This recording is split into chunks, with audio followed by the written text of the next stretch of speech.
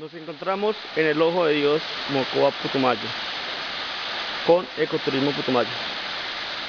Si vemos la vegetación espesa de la selva amazónica,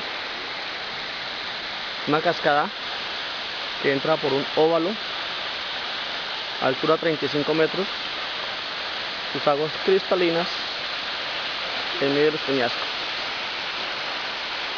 Los agujeros de los animales, Let's go discuss.